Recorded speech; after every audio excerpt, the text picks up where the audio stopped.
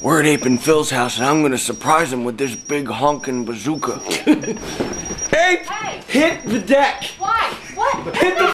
What is that? Fans who couldn't get enough of Jackass or Jackass 2.0 can look forward to more great gags on Jackass 2.5, which is currently in stores.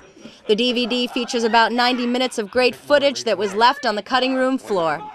The film was made available online briefly before hitting DVD.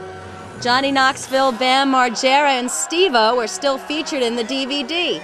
Steve-O, one of the merry crew of jackasses, said that if it wasn't for the edited footage that made it into 2.5, you wouldn't even know he was still part of the gang.